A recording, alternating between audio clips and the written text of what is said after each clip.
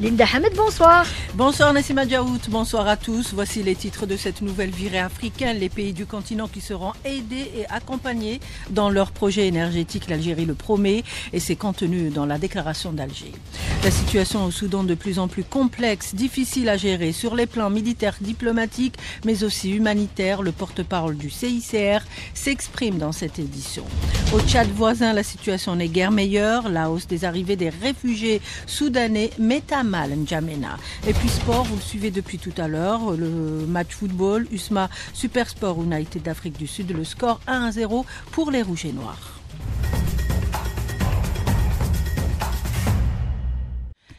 Mesdames, Messieurs, bonsoir. Bienvenue à tous dans cette première édition africaine de la semaine. Nous reviendrons bien évidemment sur l'événement international que l'Algérie a abrité ce week-end. Il s'agit, vous le savez, du septième sommet des chefs d'État et de gouvernement du Forum des pays exportateurs de gaz, auquel a participé notamment le président iranien Ebrahim Raisi aux côtés d'autres dirigeants. Aujourd'hui, justement, l'hôte de l'Algérie entame une visite officielle. Il a eu cet après-midi des entretiens avec son homologue, euh, euh, avec son homologue, le président Abdelmajid Tebboune, des entretiens élargis par la suite aux membres des délégations des deux pays, axés sur plusieurs secteurs. Les deux parties ont signé notamment un mémorandum d'entente sur la coopération dans le pétrole et du gaz, dans le domaine des technologies et de l'économie de la connaissance et communication notamment.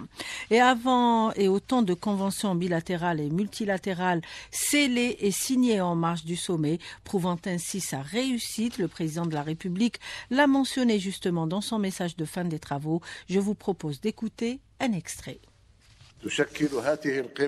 فرصة لرسم رؤية مشتركة للحفاظ على مصالح المنتجين والمستهلكين للغاز في آن واحد وتعكس التزامنا بأهداف منتدى الدول المصدرة للغاز وتصميمنا على تعزيز دوره والتأكيد على مساهمته في أمن الطاقة العالمي. إن منتدى الدول المصدره للغاز منصة للتعاون وبصفتنا جميعا مؤيدين لهذا التوجه يزداد حرصنا على الحوار ليصبح منتدنا طرفا يساهم في تعزيز مصالحنا المتبادلة وبناء اجماع حول الدور الحيوي للغاز في التنمية المستدامة. يجب أن نواصل تطوير موارد الغاز بالاستثمار المستمر والتعاون في التكنولوجيات والابتكار وتطوير تقنيات الاستخراج والتسويق لا سيما من خلال معهد البحث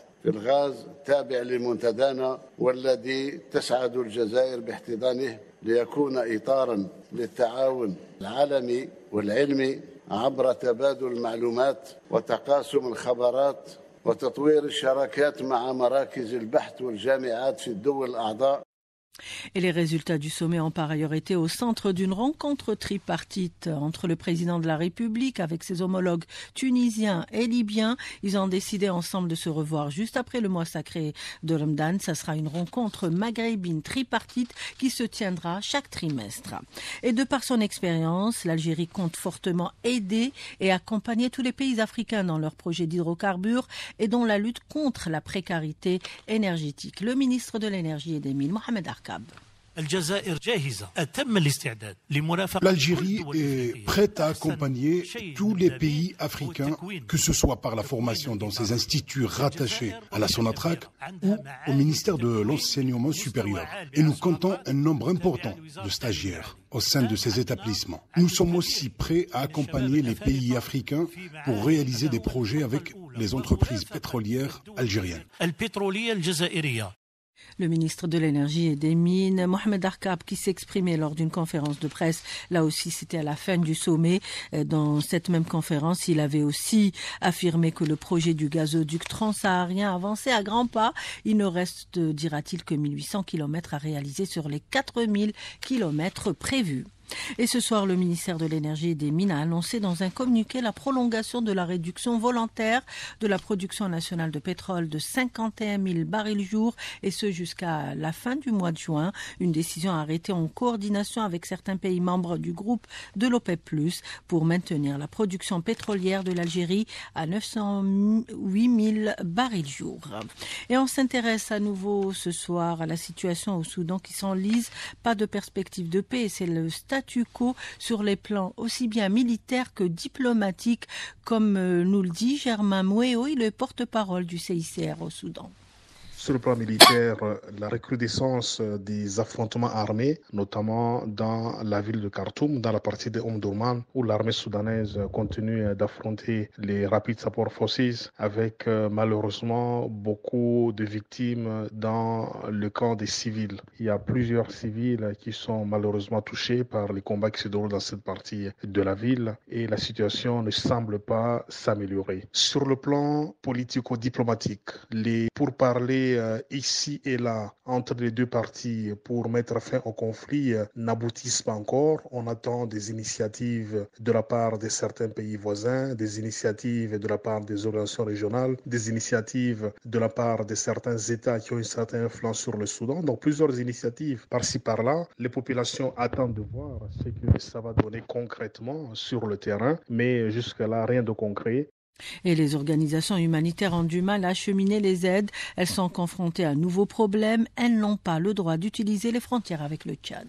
Un autre élément à prendre en considération en ce début de mois de mars, c'est la décision annoncée par les autorités soudanaises demandant aux organisations humanitaires de ne pas utiliser la frontière tchadienne pour acheminer l'aide humanitaire dans la partie du Darfour. C'est une situation assez difficile pour les organisations humanitaires qui avaient déjà positionné leur euh, assistance humanitaire du côté de la frontière tchadienne pour pouvoir euh, les acheminer vers le Darfour notamment. Du coup, avec cette décision de soudanaise, c'est une grande préoccupation pour les humanitaires parce qu'il faut trouver d'autres canaux euh, d'acheminement de l'aide humanitaire vers le Darfour, ce qui n'est pas facile. Donc, on continue à discuter avec les autorités soudanaises pour voir concrètement ce qui pourrait être fait voilà, c'était un point de situation de Germain Moéo, porte-parole du CICR au Soudan. Le Haut Commissariat aux réfugiés prévient de son côté le Tchad a besoin d'une aide conséquente face au risque d'une hausse des arrivées de réfugiés soudanais qui seront de plus en plus nombreux dans les semaines à venir. Le Tchad mis à mal puisqu'il a à gérer aussi le retour à l'ordre constitutionnel à N'Djamena. Ahmad Mahamad Hassan, enseignant en sciences politiques. Effectivement, il y a un risque encore d'afflux de réfugiés venant du Soudan, égard à l'aggravation de la crise. Le gouvernement du Tchad, il y a cela un mois, a déclaré l'état d'urgence alimentaire et le Premier ministre du Tchad est en ce moment à la quête des financements pour l'organisation des futures élections présidentielles, notamment et autres pour le retour à l'ordre constitutionnel. Le Premier ministre est en Occident, notamment il est à New York. Et au cours d'une grande cérémonie, le président de la transition, le général Mohamed Idriss Déby a accepté d'être candidat officiel du parti MPS et d'une alliance des partis politiques et des membres de certaines organisations de la société civile il a accepté donc d'être le candidat de la coalition pour les prochaines présidentielles. Mais en même temps, il y a cette victimisation de la question de la crise alimentaire sociale, mais il y a également la question du manque de financement pour l'organisation des élections à l'ordre constitutionnel. Et puis ce chiffre à retenir, plus de 58 millions de personnes sont confrontées à l'insécurité alimentaire aiguë dans la région de la Grande Corne d'Afrique. C'est souligné dans un rapport conjoint de la FAO et de l'IGAD.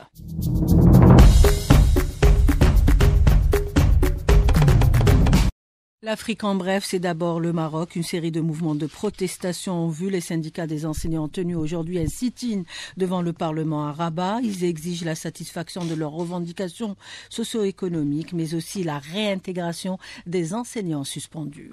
En République démocratique du Congo, la situation reste toujours aussi fragile. Dans la partie est du pays où les chefs d'état-major de cinq pays se réunissent depuis déjà plusieurs jours pour trouver une stratégie militaire coordonnée afin de mettre fin aux hostilités qui font peser les risques d'une extension du conflit à l'échelle régionale. C'est notamment provoqué par les attaques de la rébellion du mouvement M23. Burkina Faso, le parquet a ouvert aujourd'hui une enquête à la suite des attaques qui ont tué plus de 170 personnes dans la région nord. Et puis la police kenyane a neutralisé cinq terroristes Shebab et a arrêté quatre autres lors d'une opération de sécurité dans le comté de Garissa.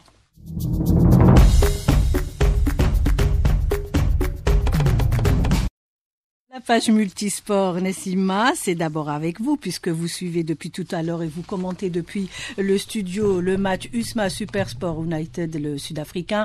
C'était la fin de la première période de jeu avec un score 1 à 0 pour les rouges et noirs. Sixième et dernière journée de la phase de coupe de la Confédération africaine depuis le stade retour du match tout à l'heure. Ça sera commenté par Sid Ahmed Fethi et Shaban Merskan. L'athlète Souad Aziz s'est hissé à la 11e place mondiale dans les 10 000 mètres marche grâce à sa performance lors du championnat hivernal d'Algérie qui s'est terminé hier à Oran. Souad Aziz a également réalisé la meilleure performance africaine de l'année. Elle l'a rapproché également d'un billet pour les prochains Jeux olympiques. Et puis marathon de Tokyo, il a été remporté par un Africain, le Kenyan Benson Kiproto. Il a devancé ainsi ses deux compatriotes, Timothy Kilblachat et Vincent Nigetik. Je ne sais pas si j'ai bien prononcé leur nom. Parfaitement, Linda, parfaitement. Voilà qui termine cette édition à 17h59 minutes sur les ondes d'Alger 3. Elle a été réalisée par Selma Figuir. À vous l'antenne. Merci Linda.